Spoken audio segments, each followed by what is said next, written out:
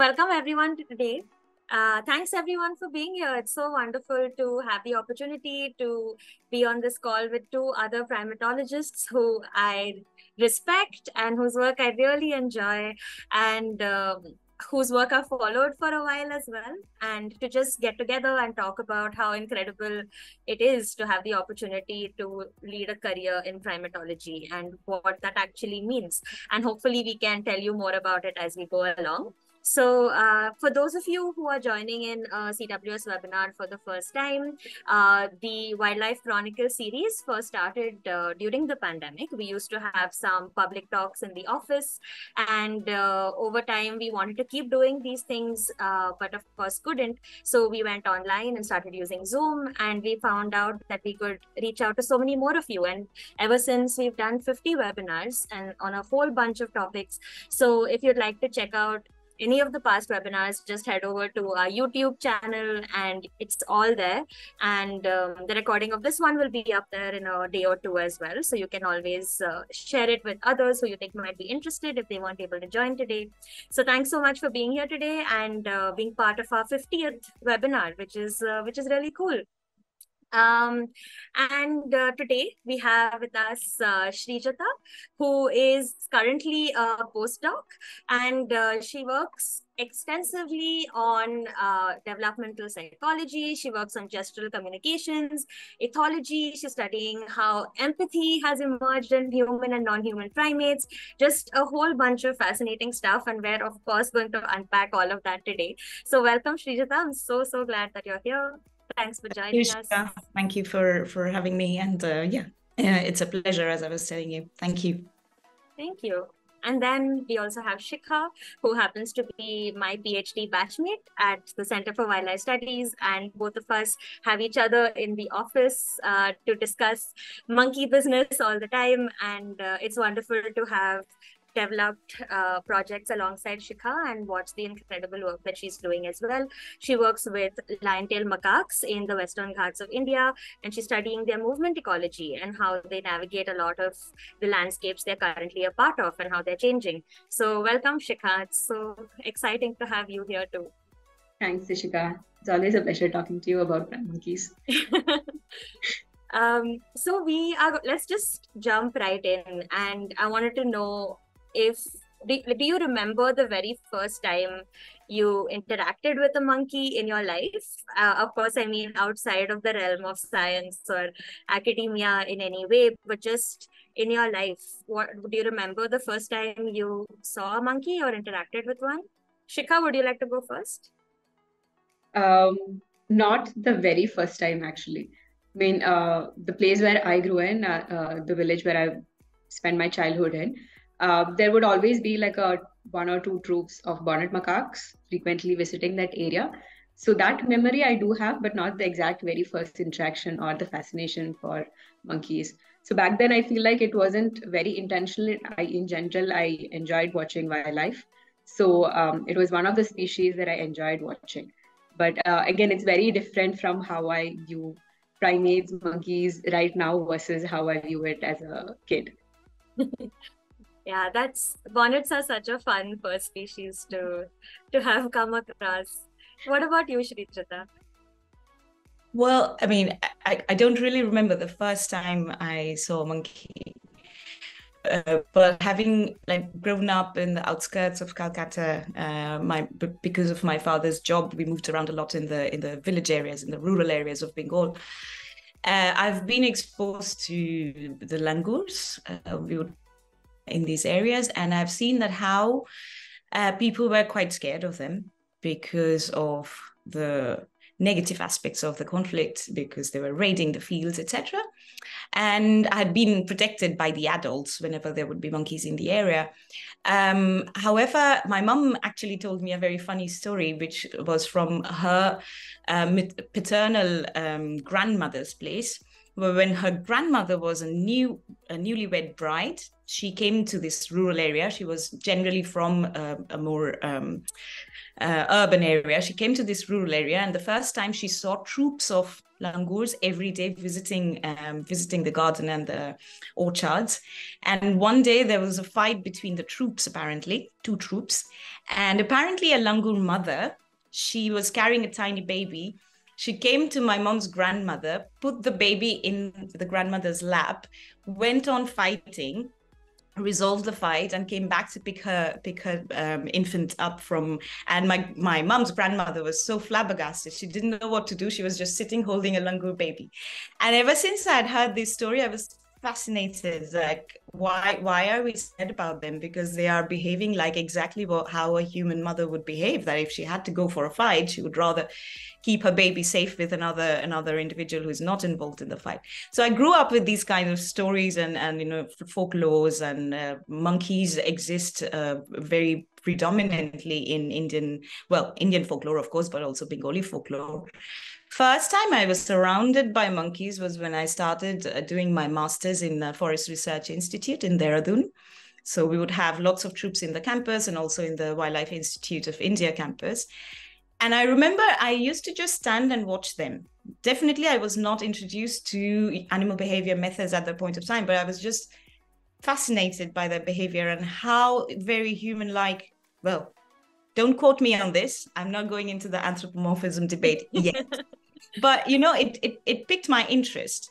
Uh, but then, uh, career-wise, I went on to study other animal species, and finally, eventually, I came to Bangalore. I was at one of Rana's talks, and that was the moment I knew that I had to work with monkeys. You know, you know how inspiring his talks could be. Uh, for those of you who know Rana, and that's how my monkey business began. I started uh, observing them uh, informally in the GKVK campus and in the IISc campus. Yeah. So, and then I realized that, okay, fine, this is something to be pursued. Oh, that's such a beautiful story, though. I, I really wish that was something that could have been visually documented or something that we could have been witness to. That just sounds I fantastic. I know. Yeah. Wow. Um, but yeah, it's so interesting to know that it was a talk that was that t- turning point for you that said, okay, this is what I want to look at and continue watching. What mm-hmm. was it for you, Shikha? Do you remember any particular milestone or moment? Was there a turning point where you said, yes, I want to work with monkeys? Uh, for me, like I said, it was quite intentional getting into primatology. Um, I was more interested in large mammals uh, from the beginning, but not specifically into primatology. And uh, during my first, uh, while I was looking for fieldwork opportunities, I got happened to like uh, be part of a project which was working on uh, to look at lion-tailed macaques distribution. Um, so that's when I was introduced to uh, the world of primatology, maybe. And again, during a part of that project, while I got interested and I read more about the species, their behavior, and so on, there was a particular time period when I was able to like spend quite a bit of my time just watching one troop. Uh, just spending my days with the troop, following the troop, and just observing what they were doing. So I think that was uh, more of a turning point for me than my experiences as a kid or uh, observing that species. So that one event was very fascinating where I just spent my days like doing just nothing else but just observing them. And um, like before we got on the call, it was not like actually data collection or anything, but just spending the days watching them going on about doing their business, um, uh, how the social the system works, how the individuals jump from maybe like even like subtle things like how they hold the branches or jumping from one branch to the other, how the interaction happens uh, I think I got hooked on to from that moment, and then there was no looking back to any other species then to study. Yeah. So tell us a bit more about which species this was and what your first, very first project was, uh, Shikha, because I fully relate to what you were saying. I think uh, even though maybe I was a bit more sure about primates initially, it was that first experience in the field where I was like, yep, right decision. yeah. So uh, my first work was uh, on lion-tailed macaques. I still am doing work on lion-tailed macaques itself. So my first project was again in Silent Valley National Park in Kerala. Um, so it was looking at the distribution, the population distribution in within the national park. And so my initial work was to walk in transects and to just uh, see if I can spot the species, but not really spend time with them. But over time, like uh, like I mentioned, I got an opportunity just to do a behavior work, and I spent my days with them, and that was uh, very fascinating for me. Again uh, i can relate to something that Srijata also mentioned uh, while she was like introducing how like how her childhood experience was. Uh, like i mentioned how i look at the macaques or even the primates now is very different from my experience as a kid. So even then i remember that uh, if there is a troop visiting our the, the around my house then my parents or relatives or whoever is around me would hold my hands probably and say that don't go like near them. They might like attack you. Um, or even they would sort of like mimic the macaque behavior and mock them or that kind of that is what i remember as a kid. But this experience sort of like changed how i view because uh, how i view primates itself because i got to like spend time in the forest very close probably with a troop and they were just going on about their daily activities. And that was so different from what i had experienced in my childhood.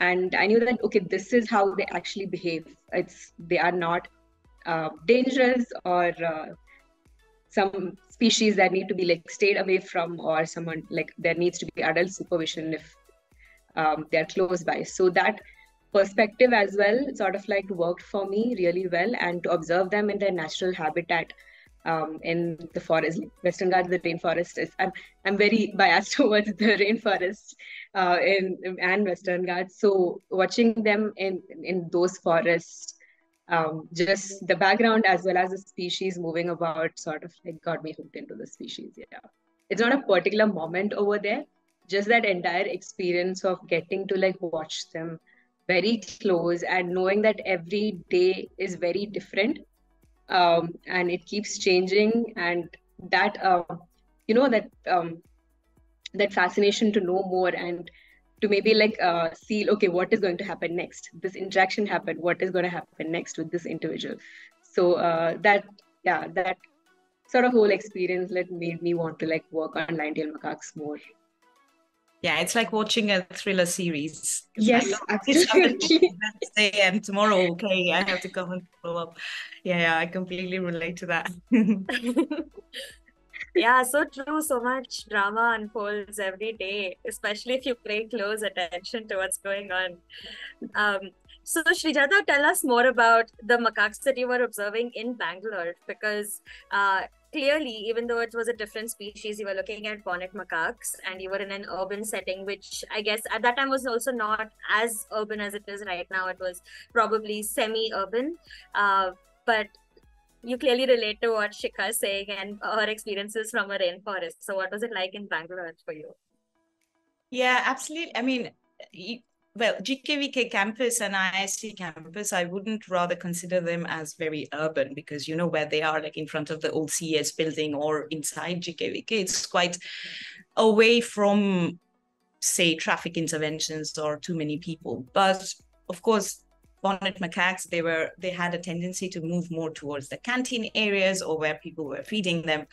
Well i was not doing any systematic study in the in the urban areas because it was more for me to understand how to do primatology. So i would t- take notes from rana and then there was muyuk at that point of time who was also rana's former phd student who used to help me a lot just to identify the behaviors, etc. So for me, it was more of me getting used to the monkeys and habituating myself to the field.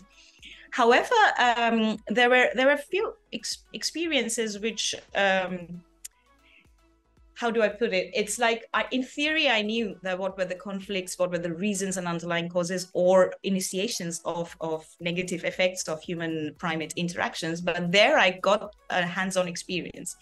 So for example, at the GKVK canteen, every morning, so I would start like at around six o'clock. Around seven o'clock, there would be this person who came with a box of sweets uh, to feed the, the bonnets. And after a couple of days, I approached him very politely, told him that why this should not be. And, you know, I was also young. I also had a very mm, rosy view of the world. I thought that if I talk to people, things will change. So I just approached him to tell him that, hey, this is what you're doing. It's not very good for the macaques. I know you're doing with a good intention, etc. He just looked at me and he said well, I'm feeding them because they are gods. They're, they're, they're the monkey god. And I said, no, that's not the case, da da da. And then he just looked at me and he said that, hey, shut up. Because if I feed them, they're going to bless my family and it's good for my family. I don't care whether it's bad for them you know and that was a blow and i was like okay fine i see that there is a huge difference in the worldviews and he from his his point of view is okay he has his logic and i don't i didn't know how to you know start a dialogue or where to go with it which was not the point of my research either. So these were the little experiences that i saw. And then when i saw the monkeys in mysore uh, when i went to nandi hills um, the and even in Bandipur, where I was doing uh, my fieldwork for my PhD in the canteen areas, these were monkeys which were moving to other parts of the more forested areas during the day, but during exactly the time when the tourist vehicles arrived, they would come to the to the um, canteen area, and I would see a whole different range of interactions. Some had very friendly strategies of begging and you know going and very nicely asked requesting for food but others had more aggressive uh, strategies. So by and by i saw the individual differences the flexibility these monkeys had um, and the flexibility that humans had because it was not always very aggressive uh, behavior from the humans part there was a lot of understanding. They wanted local people you know these are not people who have been exposed to the field of primatology or the theories of primatology, but through their own experiences, daily experiences, I learned a lot from the local people. Like they used to tell me that this is a monkey who would come every day, ask for one banana. If I give him one banana, he would not bother me. So I don't care. I give him one banana. You know, and they knew the different individuals and that one will always come for more bananas so i don't give them more bananas so they the humans were also co-opting with the system and seeing that how to reduce conflict. That was there. Without any intervention from experts they already already tried to. And of course there were there were times where things went out of hand when the monkeys were raiding the field and that got nasty. But generally day to day life there was a lot of understanding there was a lot of intention to understand what was going on in their own ways from both the from both the non-human primate and the primate's point of view to try to mitigate and coexist which we have been doing forever in in india right? We have been coexisting with wild species forever and now it's just going out of hands because of you know better than i do that for, for what reasons. Yeah so um initially those were those were kind of practical experiences trying to match with the theoretical experiences what i have learned or heard from other people and experts and finding my own under, understanding um, trying to look at that no this is not a black and white story. There are so so much gray areas that it's very very difficult to address well which is why it should be addressed but by and by.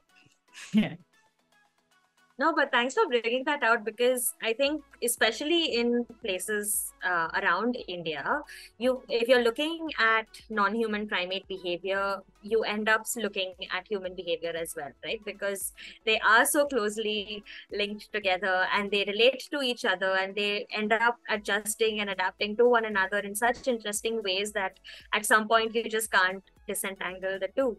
Um, yeah, I'm just so fascinated by even some of the quotes that you just shared with us in terms of the reasoning for why people chose to feed monkeys. And it's so incredible how everybody has their own reasons and logic for why they do it. Um, so I also wanted to ask uh, both of you, since even before we began the webinar, we were discussing how, unlike a lot of other taxa in wildlife, and when you're looking at many other kinds of species for behavior, you always have to use these proxies. You have to set up cameras, you have to use um, other parallels, you have to um, look at signs to figure out if they've been there or not, what they might have been up to. But with primates, you know, they're a kind of kind taxa where they allow you to over time follow them, spend time amidst them, and actually get those really one on one close observations, which is so incredible.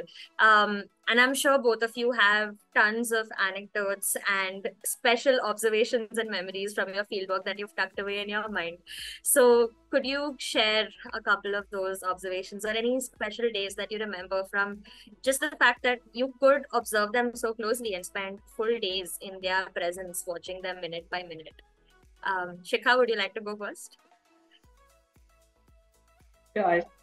Uh, okay, this is quite a lot though, because yeah, the field experience is like we both of us said, and you of course know, like all days are so different. The behavior is like so different. What they do is so different. So it's a lot of memories and observations that we have. Uh, but I think one of the most special, and I think I have mentioned it to you and maybe like whoever asked me, is when I'm finally able to like habituate them. So even if it's a troop that I have been like observing um, in the in the previous year or something, then we do always like give them a habituation period where it's just following them around and letting them know that we are not a threat to them. And it's i feel like it's sort of like asking them permission to like let us be with you and just like observe them.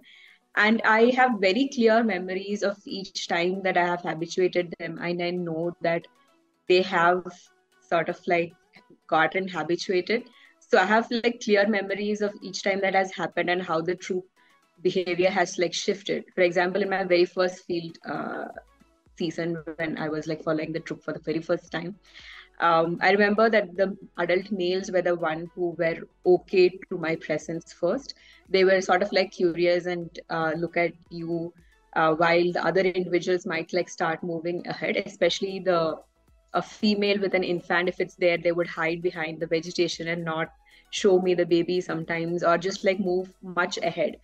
Uh, but over time maybe it takes like a week or two or maybe like a month or more depending on where or how habituated the troop is to like human presence.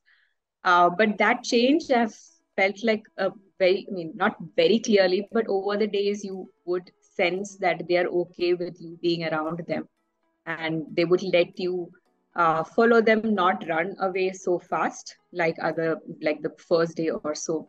Um, even uh, maybe like during another field season, one memory I have is when we the troop was moving very fast through the days. It's been like a month probably like of them of us like trying to like uh, habituate them and uh, one day we just like sat for lunch and we just like opened our dabbas and we just sat there thinking okay they might like move slowly or we might be able to like find them after our lunch break. And uh, we saw them like just hanging around there and not moving. It sort of like maybe felt like they were waiting for us. I don't know, it's just what we think, but they were just there, and maybe the juveniles were like quite uh, curious of us what we were doing and just like stopped a little bit. So these kind of things did happen in field and this is it feels very magical to me that finally they are sort of like accepting us in like or they don't perceive us as a threat probably and they just let us be and they also know that we won't harm them and they also like go about doing their own business. It's not that they are also like looking at us all the time and watching us but they just do whatever they are doing and also like let us observe them uh, and sort of be part of their environment probably. So it's the magical moment for me always every field season. That moment when they're finally like habituated or maybe they habituate us whatever that is yeah. But that moment's quite magical yeah I really love that you said that that was uh, that's probably the time period where we're asking for their permission to follow them. I think that's such a beautiful way of looking at it, and uh, and I really hope you're right. I hope that it's not just that they're used to us, so that they've like, oh, okay, fine, it's this person again, but that they're actually actively giving us permission. Um, I think that's a very uh, really lovely way of uh, of looking at it yeah uh, why i feel it magical is also it's a trust building process mm-hmm. and it takes some time to like build that as well. So it, it i feel like very privileged that they are trusting us to be around them as well. So yeah. Yeah getting goosebumps thinking about monkeys trusting us. Srijata, what about you? Any any special stories or memories you have well, it's a very it's a very tricky question to ask me. If I start talking about it, I will not stop because I love talking about these stories. And as scientists, we don't get to really write about these stories, right? Because these are rare observations, mm-hmm. there's speculations. You, you can't really talk about exactly what was going on in their minds. Nevertheless, th- those are our experiences as well. Um, I would well, as Shikha was mentioning, uh, the the magical moment of being accepted in another primate group. No, yes, and that, and I would share two stories if that's all right, uh, because one is a positive one, one is maybe not so positive, uh, yeah. but both are related to being accepted in a group. Um, well, unlike the lion-tailed macaques, as uh, Shikha said, the bonnet males were quite reluctant, the adult males quite reluctant to the presence. It was not like they were um, unaccepting, but they were just indifferent, most of them. So this was a particular troop. It was a multi-male, multi-female troop. Um, and they have been, so Rana and Kakuli have been uh, studying them for, for years. And I was just looking at the gestural communication of this particular troop. The um, alpha male was, as I said, very indifferent. And it was almost after a year, he was still indifferent. And, you know, that kind of bothered me. While we always want to remain objective, we also have this tendency of getting little signs that they like us. I'm, I'm being very honest here and that is a very subjective understanding but we do feel like oh do they like us do they are they following us also are they noticing us so it bothered me that the entire other the other members the juveniles were always very curious about me. The females sometimes would come and sit next to me like i was either did not exist or a part of the group. I don't know which one. But the alpha male would always avoid eye contact will move away etc so one afternoon it was very hot. The whole troop was either up on the trees. There was a huge ficus tree there either up there or underneath uh, the bushes and i was following i was under the bushes following one particular focal uh, female. And suddenly i heard a very loud lip smacking you know the the greeting behavior but they also have a copulatory lip smacking which makes a lot of noise. So it's it's like an auditory gesture. I looked around i saw the alpha male was sitting not too far from me and actually giving me a copulatory lip, lip smacking, which wow. made my heart leap. oh my God. It's not only acceptance, but it's like a proposition. and I was happy, but I didn't want to interact. So I looked away. I was looking at my focal, but he kept on doing it. And he came and sat in front of me so that I could see him. Side story this told me that lip smacking is not a reflexive behavior, but it's actually a gesture because he wanted my attention and his intention was to show me this gesture. He kept on doing it, and finally, I had to look at him. And this was the time when the other troop members were descending down. The other females and the alpha female descended down. Trust me, he ran like a bullet. It was like, I was not looking at her. I was not looking at her. I'm, I'm being loyal to the and he ran like a bullet. He never looked back at me. And it was like a little secret rendezvous that we had. And immediately as the troop arrived, he was like, he does not know me at all. So it was kind of a special moment, but also I don't know. I don't I don't know how I felt about it, but it was very interesting. I don't even know. I, am I'm, I'm not in a position to go and say that. Well, it, he was being deceptive to the troop members. I don't know, but it was an amazing experience. Thinking that okay, after a year, not only the whole troop but even the alpha male um, has accepted me. On the other hand, there was another troop which was a uni-male, multi-female. You know that in Bonnet Macaques, this is a new social organization that has been um, observed uh, by Rana's uh, group. Um, and it is known that the alpha males, or the only adult male of the group, is more aggressive than the than the um, multi-male, multi-female troop uh, alphas. And this was a new troop that I found. So they had not been habituated to researchers. So that took a long time. And then when I arrived at a point that, okay, fine, I can now finally start taking some focals, the adult male was never very happy with me. He would find opportunities to chase me away, literally chase me away. So during this time, I was one day walking along a pond and the troop was also walking with me. I was taking my observations. And the alpha male was quite far away. And suddenly he started approaching me quite intentionally. Like he was looking at me straight, approaching me, very relaxed, with no hurry, no ap- ap- like apparent aggression, but very determined. And I, tr- I started moving backwards, not looking at him, not looking at anywhere else because I had my eyes on the focal. As I said, there was a pond behind. Thankfully, it was the dry season, so there was not much water. I fell. I had to save my expensive binoculars and my notebook in two hands. So I was literally uh, having a free fall. My field assistant was shouting, Madam Yenaita, Madam Yenaita. Well, I, I couldn't do anything. I fell. And when I was at the bottom of the pond, trust me, I looked up and the bonnet adult male was on the side of the dike, he was looking over the dike to see whether I had fallen or not. He made sure I was down at the at the bottom of the pond, and then he left with the troop. Again, I'm not in a position to attribute any any intentionality here, but it seemed like if he could, you know, do a slow clap, he would be like, "You deserve it."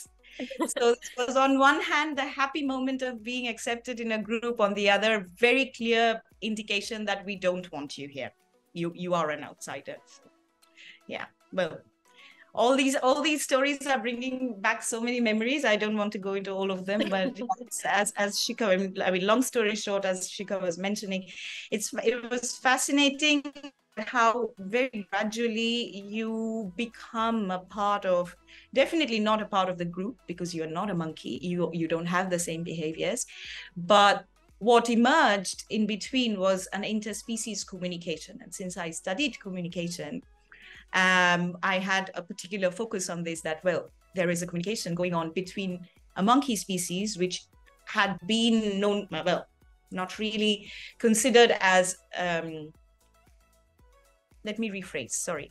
Uh, for apes, um, it's not such a such a surprise when there is a communication being established between humans and, and apes because we are so close in phylogeny that, that it is kind of taken for granted that yes we will have these commonalities but when this was happening with the monkey species you see that there are still so much that we share um, in the in the basic uh, communication uh, sphere that was fascinating that um, that um, realization yeah. Wow. I think what you've also shared with us brings out so many layers of um, what we're starting to talk about more in primatology now, which is all these individual variations and the personalities of different macaques in a particular group. And uh, I think this is probably something that primatologists have been observing for ages, for decades. And because we're always forced to think so objectively, we're forced to just kind of shove those aside, never really talk about it or write about it. But it's really exciting to hear some of these stories um, and to know more about it now. Um, but I'm also glad you brought up apes, Srijata, because you've also had the chance to do some work with chimps and in that arena. So how different or similar was that experience for you when it in terms of working with bonnet macaques versus working with chimpanzees? And um, and yeah i know this is an unfair question but do you have a preference? Um well comparing the experiences, it was completely different because bonnet macaques, I observed them in their natural habitat uh, and in their uh, in the wild in during their spontaneous uh, communication interactions.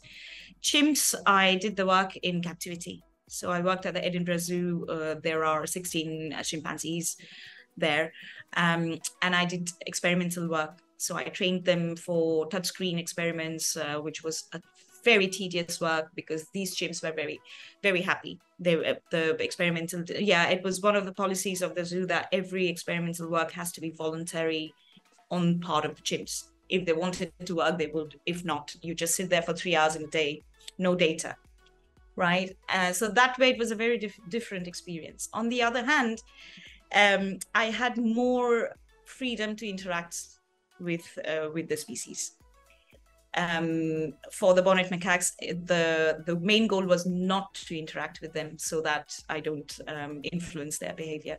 Here, I had to. I had to teach them, no, no, touch here, no, no, touch there. Um, but I also used to do some observational uh, observational work in captivity. Uh, so if I had to compare the gestural repertoire of of the monkey species versus an ape, um, apes use a lot of their hands, right? Because well, they don't really have an upright stance, but they sit like humans. Monkeys don't always sit like that, which is why their hands are more free than the monkeys have, which is why they use a lot of manual gestures, which gives them a lot of opportunity of doing many other kinds of gestures. So, um, and then as you were talking about individual uh, individual strategies and personalities, that was very well. It was very stark in the monkeys also, uh, but it came across as more stark for the apes to me, maybe because I was directly interacting with them uh, and actually communicating with them. Um, so, for example, there were some of them who would only work for grapes. And if, if so, they would first come sit on the other side in front of the screen and they would actually peep and look what rewards I have. If it was only apples that I had in front of me, they will just leave and then I'll have to be like, no, no, no, here you see, I have grapes too. I have grapes for you. Come, come, come back, come back. and then they would look and they would be like, okay, fine, you know your game, and then they will come and sit down. Others, there were some who were not. Um, so, for example, if they finished the entire uh, experiment and and they will be like babies you know no i want to work and we'll be like no you're done you can have some juice there but they will sit and and do like tantrums like babies in front of the so those were the those were the experiences that that i had with the with the chimps um which i never it was not part of my work either with the with the monkeys um and I will not answer the question of preference at all. I will not go into controversial fields. to be honest, I don't have any preference. I also, in between, worked a little bit with uh, lemurs. Uh, in captivity at the Duke Lemur Center, uh, where I also had a lot of opportunity to not directly interact with them, but they would rather come and interact with me because it was a semi um, semi-natural environment that was created for them and i would observe them there and they were very curious i never knew that lemurs were so interactive and so curious so and they were very cute they were very cute. They didn't do much in, in terms of gestures of course. They, they don't do any gestures as far as i uh, observed. But they were very cute very fluffy very sweet to be around. And um, so that way i don't have any preference. And i now work with infants. Uh, so it's a very tricky question. Yeah, sorry, that's... I think I lost the connection a little bit. So it's a very tricky question. I love working with all of them, and one day in the near future, I would like to go back to working with non-human primates, which might have a hint there in your for for for my answer. But uh, my research has always been guided by the questions that emerge through my present research. So therefore, I I choose my model system according to the questions that emerge and makes a nice story overall. That's it. no i think i think that's very fair it's uh, i don't think i would be able to choose if i had worked with such uh, entirely different groups of primates either um, but thanks for that and also for those uh, for those stories i think it just throws up so many questions about again agency in primates and intentionality and why they do the things they do. Um, so i think this is also one of those things where the longer we spend with them and in their presence the more questions we have than answers. And um, i think that's clearly something that all three of us resonate with quite a bit. Um, it's good because we, that's why we still have jobs. Yeah, that's true. Shikha, what about uh, tell us a bit more about the lion-tailed macaques? Um, is there any particular behavior, even though this this is the one species you've spent all your time working with, and you it was instant love, and you refuse to work with any other species, but uh, is there something about them that makes them uniquely lion-tailed macaques, which is quite different from the other primates that you've observed in your life, even if not for work? Okay, small correction before I start. I did not say that I will not winning.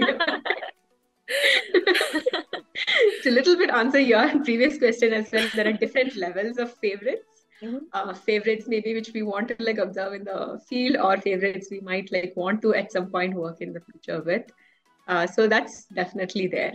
Um, if uh, what makes lion-tail macaques different for me, uh, it's different thing. I mean, yeah, I mean, I um, it's more like the experiences of working with them and uh, like observing them closely have made me more attached to the species probably because i have a lot of experiences with them a lot of field observations that i have and uh, keep close to me either like uh, personally or even for my academic purposes as well. So um, i am biased towards that and that uh, what makes them different i can um, uh, maybe like few things probably is like when i'm observing them in the field one of the species that i closely observe is also nilgiri langurs which share the spaces with them right? These are two species and i see drastic differences in the way each of them behave and uh, i feel like okay nilgiri langur is a little bit more tough to like follow since i'm looking at movement behavior and it's very crucial for me to like uh, be able to like follow the troop through their day from morning till evening when they stop. So for that purpose i think it's difficult to like probably like follow nilgiri langurs and i'm i always respect someone who has like habituated and follow nilgiri langurs because they are also so so fast and uh, probably like quick to respond when they see someone coming. I haven't tried habituating the troop but um even though it's a troop which uh, is in my way that i for that i cross probably like every day they're still like hesitant of my presence and they jump like crashing through the forest. It's very different from how lion-tail macaques are. Uh, lion-tail macaques i feel are, are more gentle when they're moving most of the time. Um, the way they hold the branch or they even like jump from one branch to the other uh, and how they sit even is very different from the langurs in general also uh, and probably one thing that i'm very uh, attracted to or like i always like like look forward to is hearing the vocalization of the troop a langur uh, sorry a lion macaque call. So they also have like contact calls the subtle coo call sometimes a coo call which uh, they give. So what i've seen is there are two kinds uh, from my observations. Uh, so one is the when the troop is moving in search of like food through the forest through the day. Uh, sometimes, if it's a larger or a smaller troop, maybe there are subgrouping or temporary splitting where uh, true groups sort of like one group will go in the front and one group will lag behind a little bit. And they have this contact call to keep the one in the front uh, updated of where they are probably and to let them know that, okay, we are still around. And that's one thing that I've seen. But my favorite one would be um, when they are resting, the troop is sort of like little spread around. Uh, probably like post 12 around noonish time when they're a little lazy they want to chill they're like full from all the fruits that they have eaten in the morning so they're just like resting a little bit the troop is a little bit spread uh, during that time and um, even the younger ones would give like a low coo call um, it's it's not uh, very loud mean, the macaque calls are also not as loud compared to a lot of other species. So this one, especially the lower coo call, is uh, very subtle. And uh, in that forest, in that ambience, it's sort of like um, what I connect to is it's, it's a reassurance call that every, like the individuals are giving to the other individuals that everyone's here and they haven't started moving. So that call is sort of like very interesting for me, and it's a it's something that I look forward to when I'm working with them or just spending my days with them around that noon time. It is also a reassurance for me that the troop is still there because during that noon time it's there are higher chances that you will miss the troop they would move very slowly and it's very easy to miss them because they would most of the time they would be in the upper canopy. And uh, because of the vegetation a lot of times you won't be able to like follow each of the individuals and see them very clearly. So these are sometimes it's not, i won't be able to like see the individuals. It's just the movement of the branches and i'm trying to like make out okay this is an ltm that is moving and i should start moving. So this call call is again a reassurance for me as well that the troop is around and i can also chill for a bit until they start moving again. So these kind of things are there which yeah makes me feel a little bit closer and more wanting to like work on Liontail macaques and looking forward to watching them looking forward to like being in field to like see the troop again next year probably yeah. No that's lovely. I think the longer you spend in the field it sounds like you're just so in sync with the individuals and exactly what they're up to.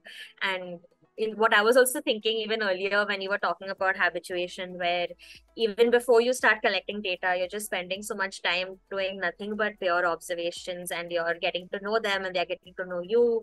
And there's also that phase where they start to also, be, their, their patterns become slightly more predictable and you can kind of try and guess what their plan is for the day and you know what's going to happen. And i'm guessing you're probably a lot more in sync with that since you're actively looking at their movement ecology. Um, so I think that's that's really uh, very cool, Shikha. Very fascinating. Yeah, very true. Just like Shida, Srijata was saying, it's a thriller story. Sometimes, sometimes you have, you spend nights thinking where would they be next day, because it's yeah. very important for me to like find them early next day before they move ahead. Uh, otherwise, you spend a lot of time searching for the troop and spend maybe like entire first half of the morning or the entire day just locating the troop. So it's sort of like a guesswork murder mystery that keeps on going through the day. Yeah. if I if I may just interject here a little bit, taking from what Shikha was talking about, how when you uh, when you get familiarized with the communication patterns within the group and you also extract information from them to your benefit i think when we were talking previously about uh, our magical magic moments uh, in primatology i think this this would come very high on on on top of the list that when you can so from a distance, if you see the silhouette of a macaque and you know the individual, and then initially you are in a bit of doubt, and then when they come closer and it you are right, that is the mo- eureka moment that oh my god i know them all not only by their faces but just by the by the way they sit or the way they walk. And when rana actually initially told me that oh you know it'll be fine. You will know them all and from a distance even up on the trees you will know which individual it is. I didn't i didn't trust him. It's like no it, it's not possible. It's like one, 150 macaques for four troops. I won't be able to do it. But when i started getting familiarized with individuals this way it was a fascinating experience. It was like right i'm on the right track. And s- comparing it with the chimps um, they're easier to identify that way because firstly it was one troop. It was uh, in the captivity. It was um, few individuals and they were all very different looking different body shapes. So even even from a distance you would know exactly who is sitting where. But from their calls so sometimes i would be in my office and i would just hear that there is a commotion going on and who is giving which call and i'd be like oh these two guys are fighting and then i will run to the enclosure and I will see that exactly those two guys were fighting. And from their calls, if I could identify them, that would be like my my day's done. I'm not going to work anymore. I'm just going to go and chill and treat myself. um even even with gestures yeah so that that i i was i was uh, i was having goosebumps when you said that yeah with the coo calls i knew that they were around and yeah it was really i i miss the field days more now thinking about Oh, these are just such special moments, really um, I also realized that I have uh, many questions left, of course, because we can keep talking about these things. But we have already been talking for about 15 minutes now. So I'm going to take this uh, moment to just remind everyone who's here on the webinar if you'd like to ask Srijata or Shikha any questions, or if you'd like to share anything, the chat box is open. So uh, do send in your questions. And while you do that, um, I'm going to switch topics a little bit and ask you guys what you think about the popular discourse in primatology now, where a lot of people are looking at the differences between how men primatologists are in the field and how women primatologists are in the field.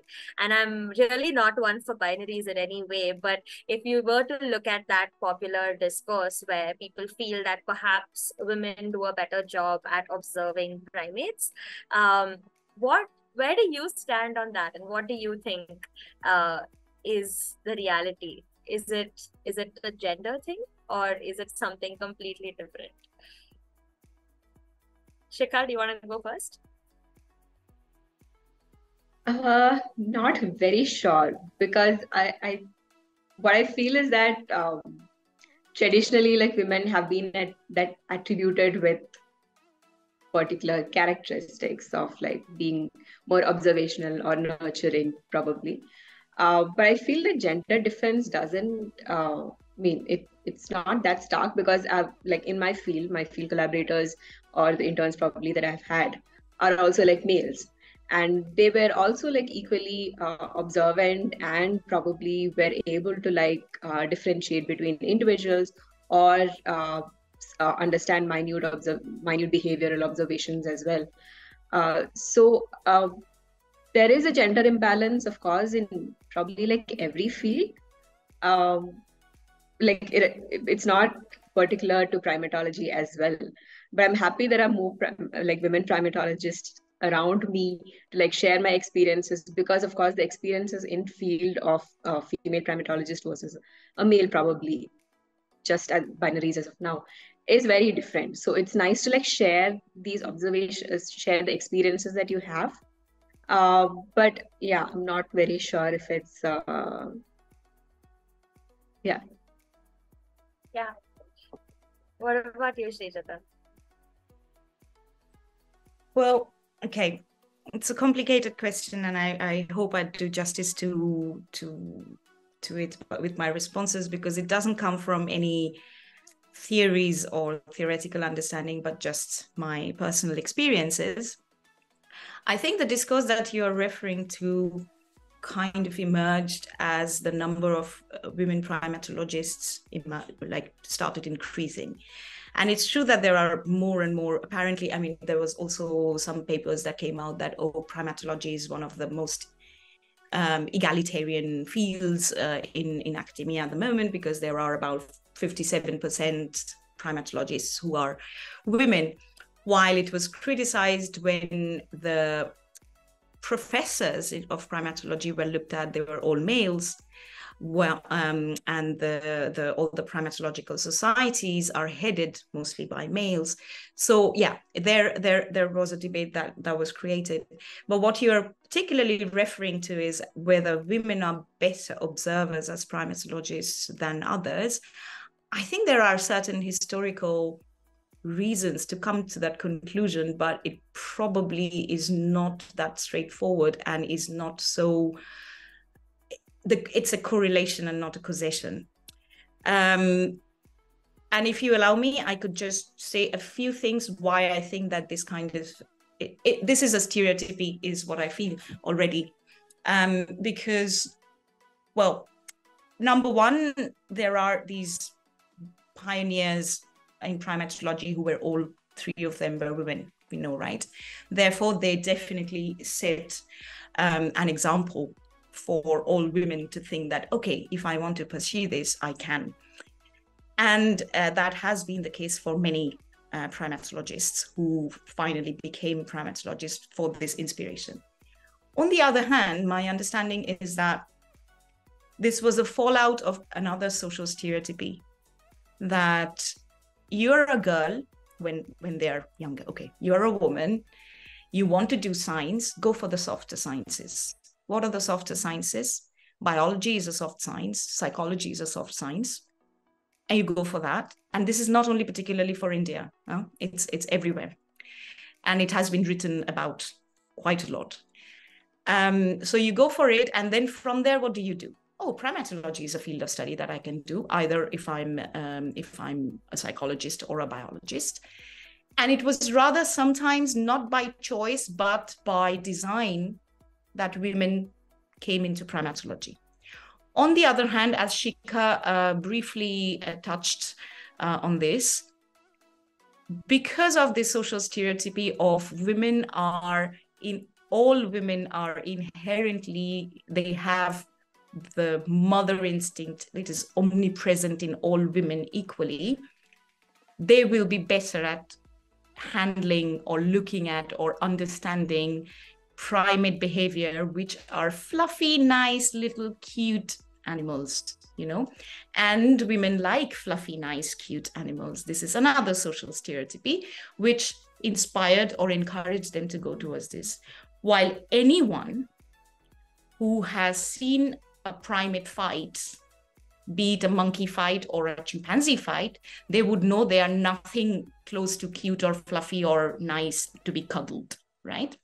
But these are certain social stereotypes that led women to go or encourage them or women students were told that hey this is an opportunity for you because you're a woman right on the other hand the debate about whether they are better observers or better interpreters of behaviors or not also has a traditional histo- historicity to it. For for example in the 70s Jeanne Altmann first gave us the systematic behavioral methodology not only to study primate behavior but any uh, any animal behavior but because she was also a primatologist it was um, um, employed in primate behavior studies before that it was more of an opportunistic observations by women men alike what happened is the species that they were studying, the males were more dominant and they had very extravagant displays and aggressive behavior. So those were opportunistically more visible.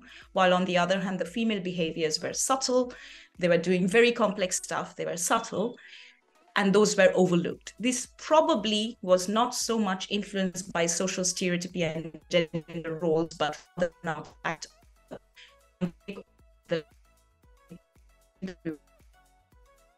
start using more objective methodologies. Sorry, I think I lost there a little bit the connection. Yes. Uh, I was saying when we started using more objective uh, uh, methodology, it was equal equal focus was given on all individuals and more and more different types of behavior started coming to our understanding, to our knowledge. We saw that, okay, females and males might have different roles in a primate social group, but they were of these kinds, they were of these natures, and they were functioning in this way. On top of that, yes, when, when more uh, women primatologists started coming to the field,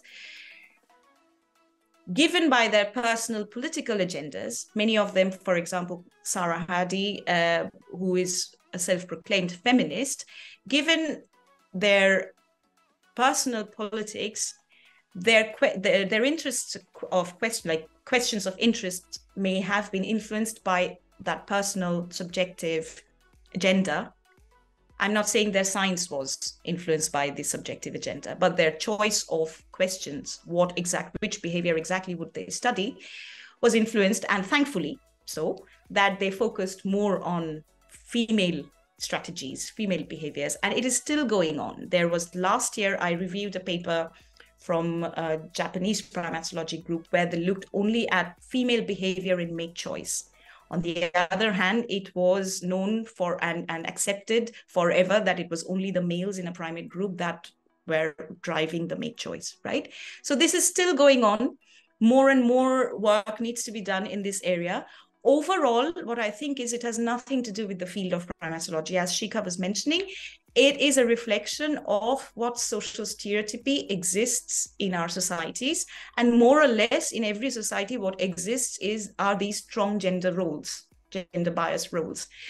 And we are knowingly or unknowingly somewhat influenced by them anyway we try to in our adult lives given our levels of awareness we try to get rid of them we try to be more aware and we try to actively not let them influence our work or our interpretations. But if we have been raised in this society, indirectly or directly, we have gone through these gender roles or if we are not practicing them in our own lives we have seen them around. So it's it's no wonder that we will be influenced by this not only in the field of primatology but in others.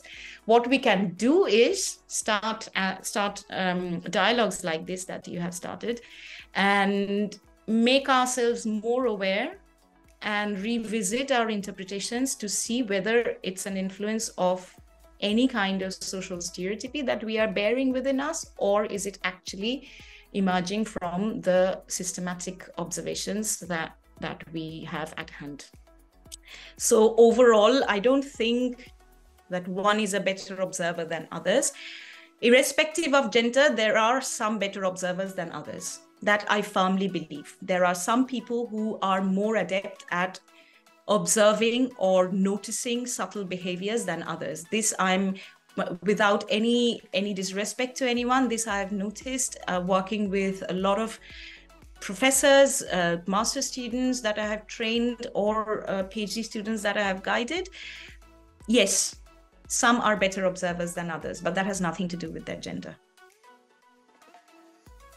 Thanks for that shijata. I think uh, sorry it was a very yeah. very long answer. I'm sorry no no please don't be sorry because i think this is it was a loaded question and there is so many uh, we are of course hypothesizing what the reasons for this can be. And like you're saying there can be manifold it can be historical it can be the social structures within which we're currently situated. And it's also the fact that the kinds of people who have set up the scientific systems in which we work and we continue to work um, have also had skewed gender ratios over time.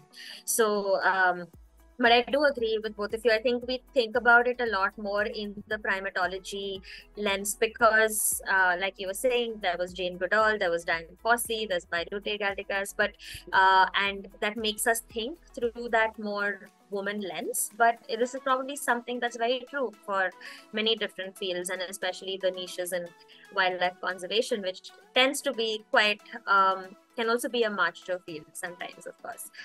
Yeah, go ahead. And if I can add a little bit to that, um, I think yes, in some some situations, not only primatology, in any social situation, we come across and it becomes a part of our database that yes, women are more attentive to others, maybe they are more empathic, women are keener observers, maybe it's in their genes. But I think also women are brought up to be like that in our society. Yeah nature or nurture. from, from, a very very uh, young age girl infants are brought up to be and in the indian society this is particularly true that men boys are brought up to be like you study you get a job you provide for the family. If not even directly in very even so-called liberal families i've seen that this is subtly put put into the psyche of of the children. But for women for for the girls it's more like yeah yeah yeah you do a lot of things. You be part of the social gatherings. You go to family reunions. You but it's not so so um, stressed for for boys. So i think it's a very layered and multifaceted thing that when even when we are observing things that point towards the fact that there are these gender differences in these capacities we should revisit the underlying mechanisms whether it is really biological therefore whether we can look at evolutionary um, shared capacities in other species or it is purely cultural that is facilitating this difference sorry no, I find myself agreeing with absolutely everything you said. I'm um, glad. um, so it doesn't seem like there's uh, any questions coming in from the audience, but I do see some familiar names, and I know that this is generally an audience of a bunch of aspiring primatologists. So um, I think my I'm going to wrap up our webinar by just asking both of you, what do you think the current gaps in our knowledge of primates today are? I know this is again another really big question, but where do you think some of the biggest gaps in the studies of primates and in primatology in general currently are? We can focus uh, on India just, you know, for practical sakes. Um, and what do you think we should be doing and studying? What kind of projects do we need to really prioritize in the years to come? Shikha, would you like to go first? Um, again, this is uh, quite a large topic for discussion, I guess. Uh, but within India, I feel like there are um, traditional methods which are still being followed, or studies which are uh, done repeatedly in different landscapes rather than exploring the opportunities um, highly. So uh, there needs to be a little bit more diversity in there and adapt a lot that is being done probably in other universities internationally as well we're still like some, uh, somewhat sticking to the old methodologies a little bit or using uh, just the traditional uh, techniques probably. And or there is also a tendency to like stick to a one area or one group because it's already been habituated. So the studies are continuously happening. I mean there is importance for long term studies but still there are a lot of populations and we are increasingly finding that there is a lot of variations between individuals between populations as well. So there is a need to like explore and expand the study systems and study areas as well um, rather than sticking to one population and understanding the variations over there just the variations. We need to like understand what is happening through probably the entire geographical space. Um, and probably this is a issue for funding because there is also uh, there is also a tendency to study or look at only species. It's i mean i understand that a lot of people here as well are interested in diverse species but there is a limitation because of the funding or the logistic issues or opportunities that are out there. So that is again a limitation which needs to be explored and uh, diversified. But one thing i would one advice probably um, in my experience i would also give is to read up a little bit more but not I mean even from what the discussion today was. We did romanticize a lot about by sharing our positive experiences right? There are also like negative experiences definitely there. Even the discussion about male versus female there are a lot of physical and mental challenges as well while you are going to field. It's not always that that troop is there and you just go there and watch them there is a lot of physical challenges involved while we, you are like navigating that spaces and uh, like and trying to like understand your species. So it would be like also better to like get and get hands-on not hands-on but yeah like experience with in field on ground with the species and observe them so that you also know exactly where you which aspect of the species you would like to like study and explore. Uh, Srijata was also talking about a lot of the captive captive species experience that she had. That is a lot to explore as well. And even in the forest species or the rural areas, there are a lot of aspects that needs to be explored. But one main thing is also to like move away from just the traditional methods and techniques that are using that are used here. Um, there are a lot of issues with getting permits to use different equipments or techniques, but unless we start exploring in that area that's never going to happen right? So rather than sticking to what is convenient we need to like push a little bit ahead and uh, see how the new evolving techniques and technologies can be like adapted towards in the current system or how to explore that. Thanks Shikha yeah i do agree. I think there's not just in terms of species and topics but even in terms of the methods we're using clearly there's a lot more um, that can be done. Uh, yeah, it was a general answer, but yeah. Mm-hmm. No, you're absolutely right. And um, I think I wish we had a little more time to delve into some of those challenges that you mentioned as well, because of course, each one of these fields uh, has pros and cons, and there's a lot of challenges. And there are days, the good days and bad days, and it's some of the positive, romanticized uh, stories that we shared today that keeps us going, no doubt, uh, even in the midst of not so good days. Um, but thanks for uh, thanks for that answer. Uh, what do you think?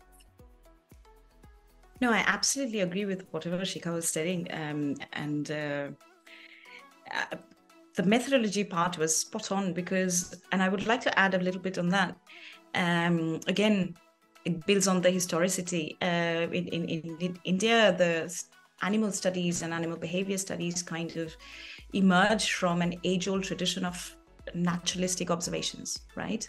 We are we love we are very good naturalists. We have everything around us. We observe we write down we have hobbies of bird watching. And from those hobbies we come into the scientific field of animal behavior or conservation, right? We also have a very rich history of conservation science, which is an applied field of science, which is an applied field of animal behavior and human animal interactions that you're seeing, which you apply to make um, things better for the animals, for the environment, etc.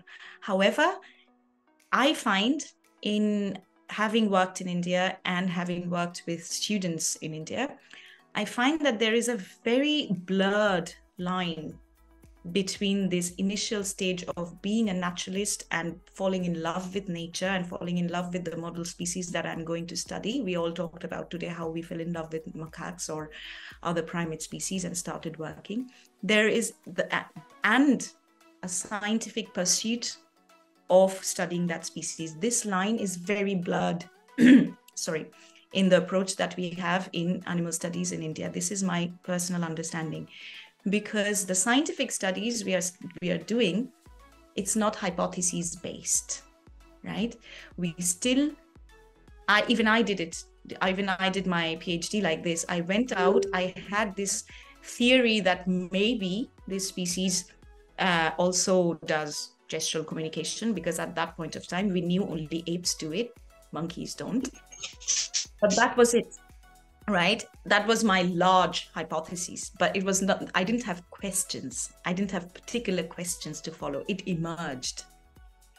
However science is not done that way right? That is the that is the first step that is pilot that we can do. But when we are starting a project we have to have hypotheses and based on that we have to have questions. And that might change over two years, three years of, of studies, or over a long term study, new hypotheses might emerge from the observations. But this line is very blurred, which sometimes makes us feel at the end of a project that, oh, if only I knew about this, I could have, you know, thought about systematically doing some observations on this particular thing. So that way we are missing out on, and that is that is a key area I think we can improve it's not only in India. I just gave the example of India because I had experience working here, but I think there are other places where it still is followed like this. The other thing that Shikha mentioned about um, captive studies, captivity studies, uh, it's not always bad we have this tendency to think that oh my god zoos are bad for animals. I will never study there. I had that kind of feeling. But then i realized that there are for example this group of chimps i talked about they would not survive a day in the wild because they were all rescued chimps. They were rescued from circuses or from um, you know pet trade and these kind of things. They will not exist a day. They had a good life in the zoo. And when i started working with them i realized that there are some questions which have to be addressed from an experimental design point of view if we have to um, test our hypotheses. Again, hypothesis driven. Observational studies give us new hypotheses which have to be tested through experiments. Therefore, captive, captive studies are important, especially for my field in cognitive science, in, in comparative cognition. We have to take control variables because it's already such a complex thing. And in India, it is lacking at the moment, right? As Shikha was mentioning. And I don't think that that can be changed from individual um, efforts. It has to be an institutional effort. It has to be a central effort. The need for these kind of studies have to be taken up by larger bodies who have more power to provide us with these infrastructure. It's not possible that you have a two-year postdoc project or a five-year PhD project where you establish an infrastructure for captive studies. It is not possible. So that needs to be addressed. Um, and the final thing I wanted to talk about, because it's it's a broad question, right? Like what is missing in primatology? Because the field itself is so diverse. What do you mean by like Shikha studies um, movement uh, behavior? I study comparative psychology. We maybe there are overlaps in you study human primate um, interactions and conflict. Maybe we are using some. There are overlaps in some of our methodologies, but our questions are diverse. Our approaches are diverse. Our um, literature that we read is diverse. So uh, there is no one way to say what is missing, but one overarching thing that bothers me at times, again, because I study communication and cognition, this comparison comes very often. and because primates are so closely related to us, the the sword of anthropomorphizing. We are all aware of it. We are all, when we are doing observations, we are trying to avoid that. But you know, deep down, we are coming to approach we are approaching these questions we are attempting to find answers to questions for example like what is the what is gestural communication in monkeys like deep down the question is why are humans special humans have language I'm doing this to show the differences. Why are they special? We need to change that. Or we see a behavior like, say, grief. All human societies have grief. And then we just take this whole big thing of grief and then try to look at other species, other primates. And we just come back, and say that they, they don't grieve that is very particularly human. But then we are not distinguishing between the biological facets of grief versus the cultural facets of grief. And we are not making this distinction that the cultural aspects are uniquely unique to human evolutionary history, while the biological facets can be studied in from an evolutionary framework. These two aspects bother me so much because I think they are driven by this underlying agenda to show that no matter what, humans are a bit special. We love primates. We see how how complex their behavior is, how complex their social interactions are, but still we want to distinguish ourselves as a special species. This, I think, has to be addressed for future yeah whichever whichever whatever we study for for the primates Thanks, Srijata. Yeah, I think uh, it's interesting to see the philosophical shift in the field that is coming uh, with the younger generations of primatologists now. Um, and you also mentioned Jeanne Altmann, who put together those basic traditional methods that everyone's used for decades. And um, it's also interesting to see what philosophies are leading us maybe away from that or finding ways to integrate that into other methods to address some of these gaps. And hopefully, those who are listening here um, will also think about these things a little more deeply following this conversation. Um, as we were talking, there were a couple of questions that came in, but we are very short on time. So I'm going to pick one question each and maybe we can have have some rapid answers for these before we um, before we have to close for today. But um, before I bring that up, uh, there were also some requests to do more such webinars to really delve into what those challenges are and what the state of the field of primatology is like in certain contexts. So hopefully we'll have the opportunity to keep this conversation going even beyond today. Um, we have one question for Shikha.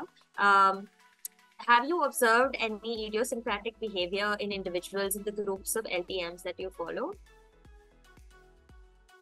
Uh, so one of the challenge and one thing that I am always jealous of uh, others who are identifying the individuals or uh, doing uh, studies in probably like an open space is identification of individuals.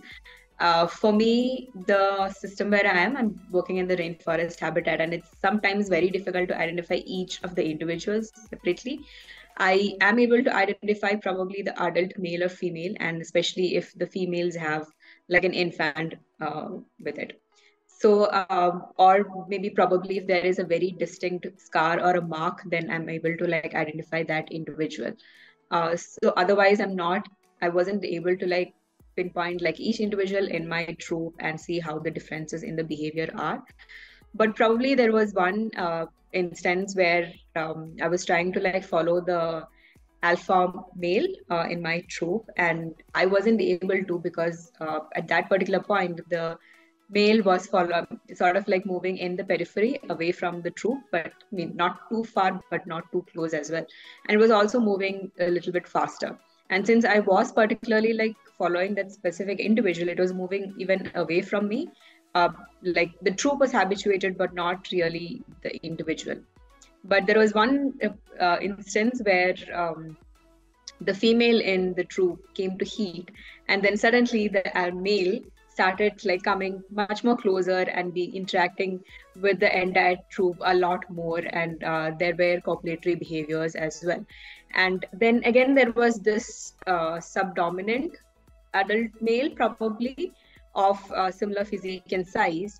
And he would sometimes like try to like mate with this particular uh, female. And there would be some clashes between these two adults where he would like uh, seek uh, opportunities where the the other dominant male was away from the troop or the female and would snatch those opportunities and try to like female just away from the side and say like I didn't do anything. And when the other on the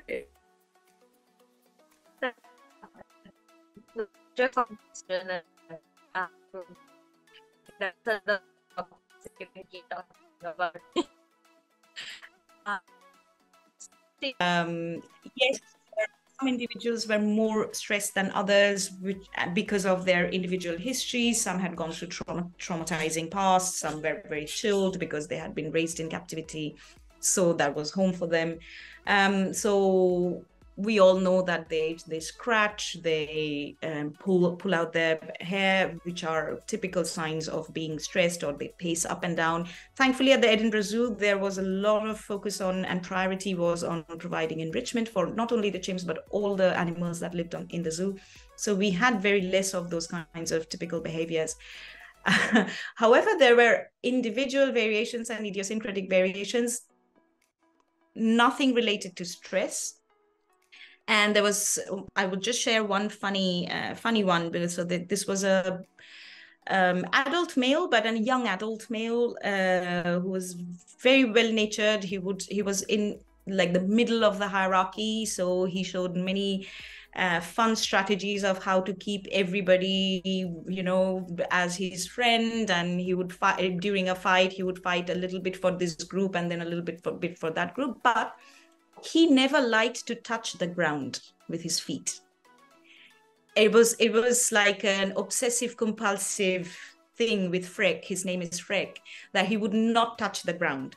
And every time he would sit in his nest, he would keep rubbing his feet. His hands were fine, right? He was picking up things uh, from the ground with his hands, it was fine. But with his feet, he would always rub but anyway he had to walk on the on the ground right? So he found out a way of he used to get two boxes. So they were given fruits and vegetables in cardboard boxes. So he would collect these two boxes. He would put them underneath his, underneath his feet during foraging and he would walk on the boxes you know uh, so that his he, yeah there was there was no mud on his feet that was a very it was not only the idiosyncrasy of him not liking mud touching his uh, feet but also finding a solution innovative solution almost like finding shoes um, that he would do that. And even even he didn't like to sit on the muddy part. He would like to sit on concrete. So whenever he had to sit on the mud or on the on the grass he would bring a box and he would just sit inside the box. So this was very cute. But i think it was also linked to sadly linked to his traumatizing childhood, which he spent in one of the labs in, in the Netherlands, a medical lab.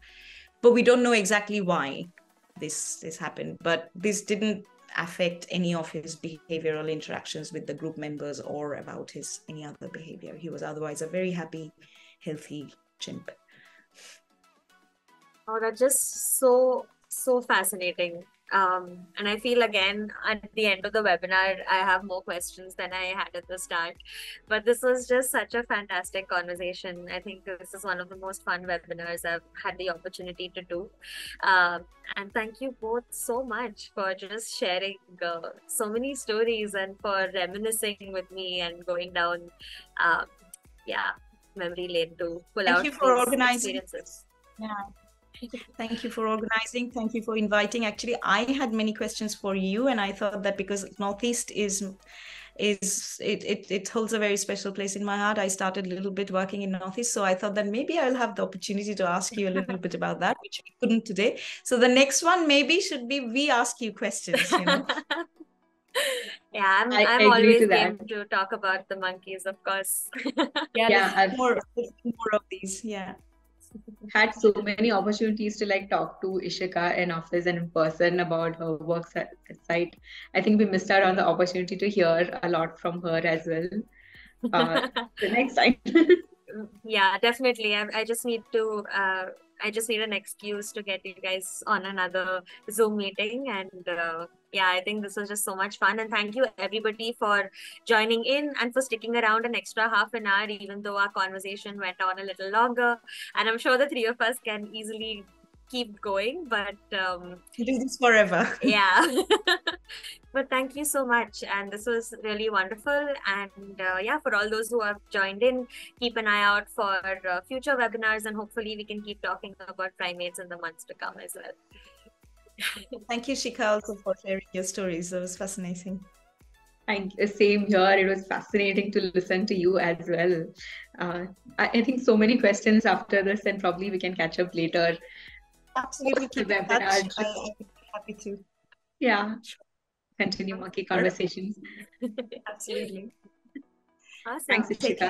Thank you. Have a have a good weekend. Enjoy your evening. You too. You too. Bye. Take care, everyone.